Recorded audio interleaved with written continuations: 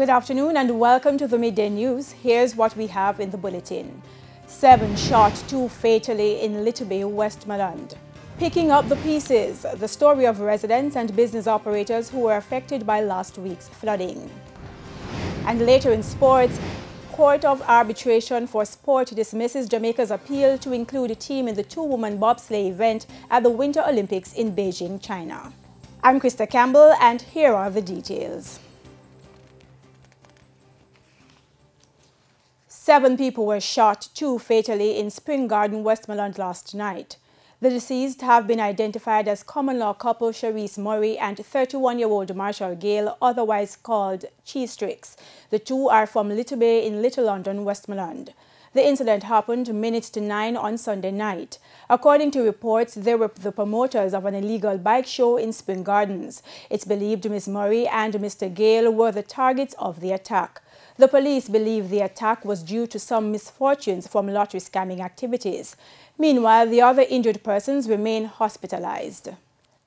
The body of a man was found in St. Elizabeth last night. He's been identified as 26-year-old John I. Johnson, also known as Mad Milk. According to reports, about 9.30 p.m., a friend found Mr. Johnson's body at his house with chop wounds.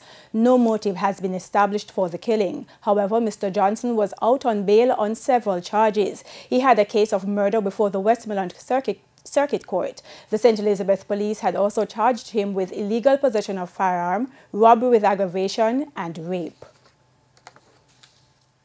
Classes have been suspended at the St. Andrew Preparatory School. This as counseling sessions are in progress for teachers and staff following the brutal murder of their colleague last Friday. Our reporter Sandy Williams visited the school this morning. As you would imagine, it is a very emotional time for the staff and students at the St. Andrew Preparatory School. When we arrived this morning, we were not allowed on the compound. I was told by the security that counseling sessions were in progress and that the school at some point in the day would issue a statement.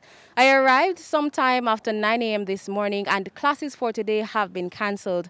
Now, up to the time of her death, Mrs. Phyllis Ramsey was a grade 6 teacher.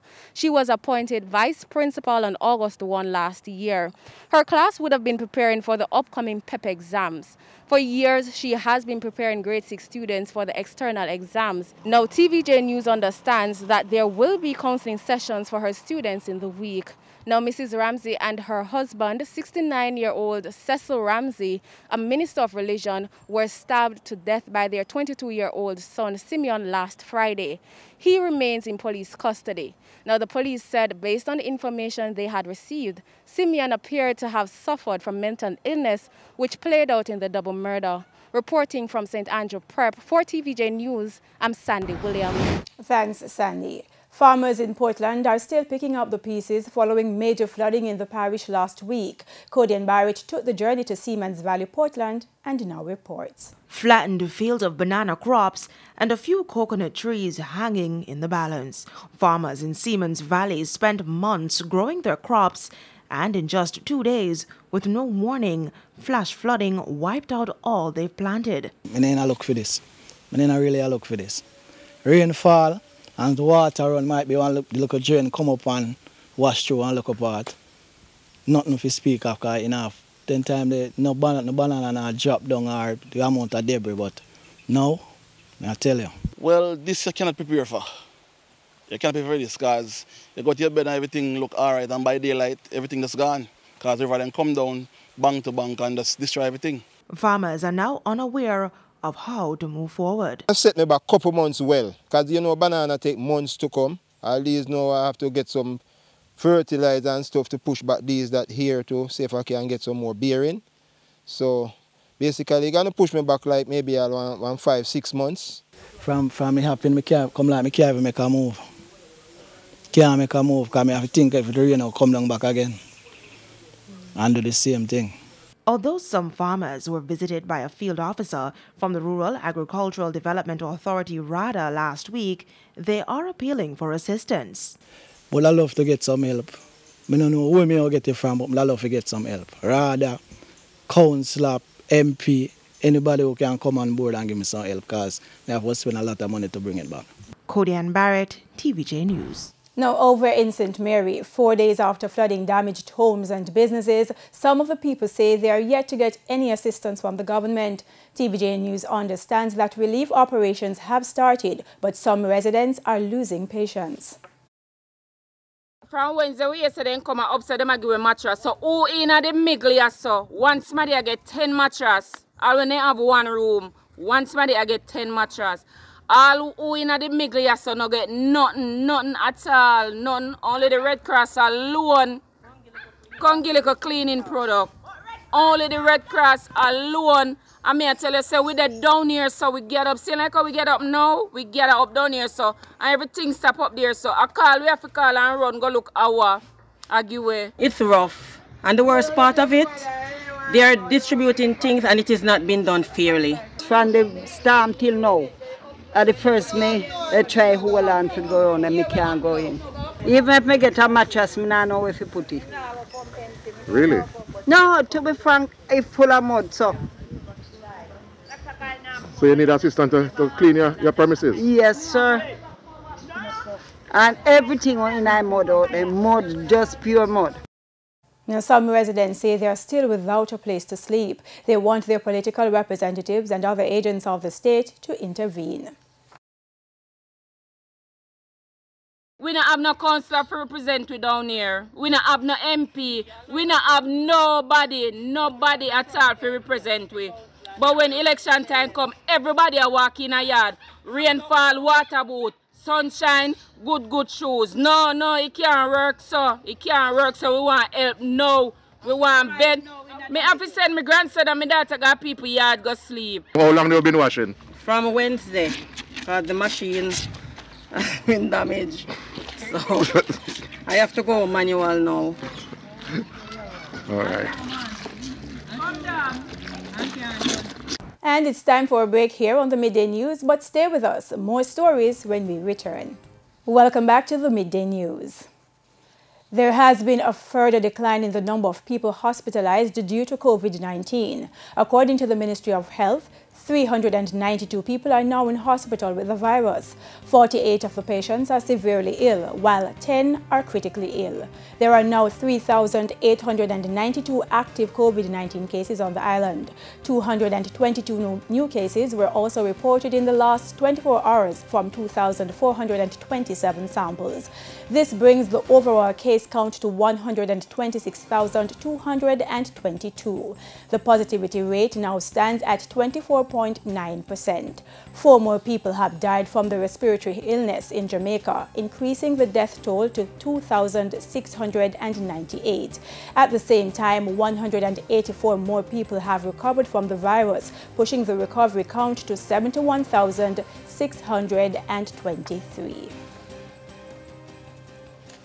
Some advocates are this afternoon insisting that the Office of the Director of Public Prosecutions ruling in the Nzinga King matter is taking too long. It's alleged that police cut Ms. King's hair while she was in custody. The matter was discussed on the morning agenda on Power 106. More in this report. 19-year-old Rastafarian Nzinga King is still awaiting the ruling of the Director of Public Prosecutions, DPP. Ms. King alleges that a woman cut her hair while she was in custody at the Four Paths police station in Clarendon last year. The latest from the office of the DPP is that the ruling is 95% complete. But Executive Director of Stand Up for Jamaica, Carla Gullotta, believes it's taking too long. And the 95% of investigation have been done about what happened to the other five. Um, the case has been postponed again, and she will be again waiting for the justice system which is not answering to the needs of those which have been abused. Director of Programs and Advocacy at Equality for All, Glenroy Murray, wants more to be done to speed up the process. I think the state has to kind of recognize that there is a need to prioritize uh, these matters that concern the violations of the rights of its citizens or the alleged violations of the rights of its citizens by its officials. One of the arguments is that her hair was cut to prevent her from committing suicide. Ms. Gullotta says that argument is inadequate. The story of the fact that Zinga locks were cut to avoid for her to commit suicide I think that most of the country has been laughing about it. I have locks, long locks, and I don't think I would be able to kill myself with them. So at least, at least, let's try to avoid the outrage to take people as fool because something like that is it's a poor self-defense. Jamila Maitland, TVJ. A group of young men in Manchester are now on their way to entrepreneurship after receiving assistance from a non-profit organization. Cody Ann Barrett has their story. It's an exciting beginning for 10 young men in Manchester who were awarded certificates and grants to either grow or start their own business. Through a partnership with the Young Men of Purpose organization and the Community Safety and Security branch of the JCF, a Youth REAP project was launched last year. Over the weekend, some of those men who participated in the program completed their training. The young men were also they also had the opportunity to pitch their businesses and 10 young men received business grants of over 550,000 Jamaican dollars to grow and even to start their businesses for those who did not start. They also participated in various workshops in areas related to health and wellness, violence and abuse, as well as prevention and management. Two of the recipients spoke with TVJ News about the impact of the program and how the grants they received will help. That shift my life into a positive outlook in finding something to do with my time and kind of helping me coping skills in life. Through the different sessions that we have, the training about health, wellness, the whole operation of the business model and all of that, I learned so much from it that I could have taken back to the business that at the end of the program, the funding for me was really a bonus because all that knowledge was priceless. According to Ms. Roden, the communities of Greenvale, Richmond, and Georges Valley in Manchester were the focus for the program. Now, in Manchester, we are aware that these three communities have been prone to youth crime and violence. And so we wanted to go into the communities and to select young men who have been directly impacted by, you know, violence or violent activities in their communities. We want to ensure that we were equipping them to be agents of change in their families and also in their communities. Cody Ann Barrett, TVJ News. And it's now time for the Business Minute. Here's Cody Ann Barrett. In the world of business, NCB Financial Group is in the spotlight after again avoiding to pay dividends despite its earnings falling short of prior periods. Its chairman, Michael Lee Chin, has assured that NCB will alight from this dividend hiatus Prior to the COVID 19 pandemic, NCB Financial was a faithful distributor of dividends, paying out a record $8.3 billion in 2019. But amid the health crisis, large financial institutions were told to safeguard their cash in case of emergency. NCB Financial put a pause on dividends that were usually paid quarterly and since then has made only one distribution totaling $1.2 billion or 50 cents per share. A bill to support debt relief for Caribbean and other developing countries was passed in the U.S. House of Representatives on Friday. The legislation, among other things, places a moratorium on debt payments. The World Bank has warned of a 12% increase in the debt burden of developing countries to a record 860 billion US dollars in light of the pandemic. Since its debt service suspension initiative took effect in May 2020, it has delivered 10.3 billion US dollars in relief to more than 40 countries. And that's it for the Business Minute. I'm Cody Ann Barrett. Time now for the top regional and international stories with Sandy Williams. In the region, in Haiti, the government has cancelled Carnival this year due to the ongoing COVID 19 pandemic that has killed 804 people and infected 29,715 others over a two year period. In a statement, the Ministry of Culture said that while the pandemic had a major factor in taking the decision to cancel the national celebrations, economic issues as well as overall security in the French speaking CARICOM country had also contributed to the decision. On the international scene, Australia has announced the reopening of its borders to vaccinated tourists and other visa holders for the first time in almost two years. The reopening will take effect on February 21. In March 2020, the government closed the borders. It barred most foreigners from entering the country and put caps on total arrivals to help combat COVID 19. And those were the top regional and international stories. I'm Sandy Williams. We head to a quick break now. When we return, Renata Brown will have your midday sports report. Welcome back. It's now time for your midday sports. Sport's highest global court has dismissed an appeal from Jamaica's Jasmine Fenlator-Victorian asking to be included in the Beijing Olympics two-woman bobsleigh competition after she alleged Jamaica had been unfairly excluded. Jamaica missed qualifying for the last spot at the Games for the two-woman event in a tiebreaker with France. In her appeal to the Court of Arbitration for Sport, CAS, Fenlator-Victorian had alleged that the International Bobsleigh and Skeleton Federation, the IBSF, broke its own rules in calculating points that determine Olympic spots in the sport. Fenlator-Victorian accused the body of duplicating the results from a race in the German resort town of Winterberg on December 5 by publishing the same results from a day earlier. This meant that competitors in the duplicated race earned points uh, putting a French doubles team ahead of Fenlator-Victorian and teammate Audra Segree. I am not clear on the legal basis for the dismissal, but the decision has come down as dismissed. We accept that wholeheartedly. Uh, winning is one thing, uh, but the more important thing is to speak up.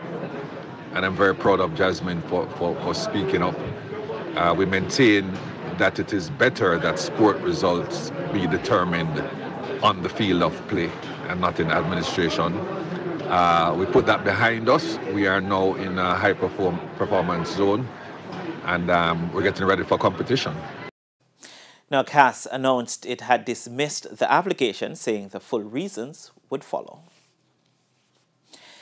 Football now as defending champions Cavalier will look to break a run of two straight defeats when they take on Humble Lion in one of two games in the Jamaica Premier League today at the Captain Horace Burrell Centre of Excellence. Since their opening day 2-1 win over Arnett Gardens, Cavalier have suffered defeats against Waterhouse and Portmore United, failing to score in both games. They will take on a Humble Lion team who are yet to taste the victory this season, having two drawn results and one defeat so far. In their meeting last season, Cavalier came away 2-0 winners at the same venue. The game is set to kick off at 1 p.m. And at 3.15, Molynes United, the only team apart from Humble Lion yet to win a game this season, will be hoping to hand new coach Garnet Lawrence his first three points when they take on third place Dunbeholden FC. Since their 2-2 draw with Harbourview in their opening game, Molynes have lost 1-0 and 4-1 to Vere United and Montego Bay United respectively. And they are currently at the foot of the table on one point and will once again find Dunbeholden hard to beat. In fact, in their previous three meetings, Molynes are yet to get a point against their rivals, with all three games producing four or more goals between the two sides. And finally, England have appointed Paul Collingwood as interim head coach for their three-test tour of the West Indies starting next month. The appointment comes after former head coach Chris Silverwood and managing director Ashley Giles were both sacked last week following England's 4-0 Ashes defeat to Australia. Former England all-rounder Collingwood was assistant coach under Silverwood and took charge of last month's 3-2 T20 series defeat in the West Indies. Collingwood's appointment follows Sir Andrew Strauss taking up the position of interim managing director with a reset of England's red ball cricket setup demanded after just one win in their last 14 test matches. Strauss confirmed last week Joe Root would remain as test captain, while England's squad for the West Indies tour, which gets underway on March 1, is set to be named on Tuesday. And that's it for your midday sports report. Krista, it's back to you. Thanks, Bernardo. Now, despite the slight setback you mentioned with our two-man squad, exciting days ahead for our winter um, Olympics team, right? Yeah, um, of course, Jasmine Fenlator-Victorian in the monobob will be the first time she's competing at the Olympic Games. In that event, the two-woman bobsled team missed out on a spot. They wanted to get in, but too bad. And of course, I really want to see Alexander in the alpine skiing event. Mm -hmm. And the men's bobsled, two-man, four-man, should be amazing stuff. All right, looking forward. And that's the Midday News. I'm Krista Campbell. Join us again at 7 for Primetime News. On behalf of the news, sports, and production teams, have a good afternoon.